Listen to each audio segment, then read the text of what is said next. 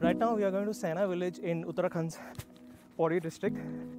This is the ancestral village of the late CDS General Bipin Rawat. Now, we are being told that out of the so many families who were living in this village, only one family now remains.